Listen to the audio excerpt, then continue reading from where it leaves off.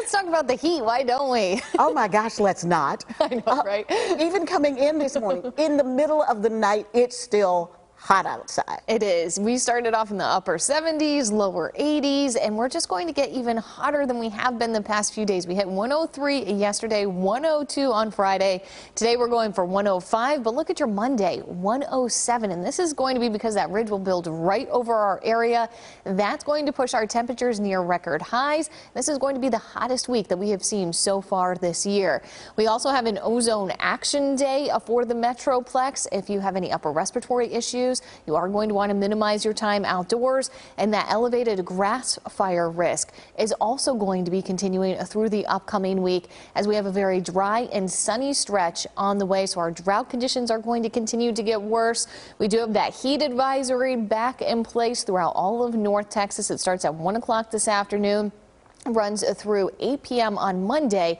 Could feel as high as 109 degrees. We are going to see it extended through the middle of the week as well.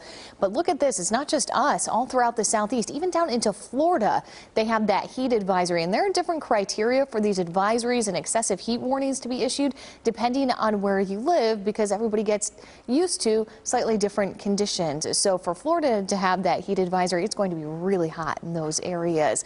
So a heat advisory for us is when the actual air temperature is 103 degrees or it feels like 105 plus for two consecutive days. I wouldn't be surprised if we see an excessive heat warning for our area, and that's when the actual air temperature hits 105 or it feels like 110 plus for two consecutive days. The reason I say that is look at this. Our forecast high for Monday, Tuesday, even into Wednesday, 106 to 107. That's going to put us near those records. We could even get very close to the afternoon record for today at 106.